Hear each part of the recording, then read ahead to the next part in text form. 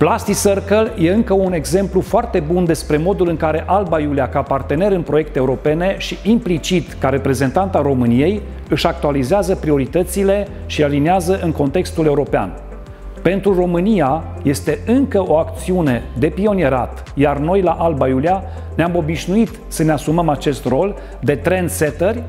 Sunt sigur că alba iulienie se vor implica în cel mai serios și activ mod și în acest proiect și că îl putem transforma într-un reper și un exemplu de bună practică și pentru restul României.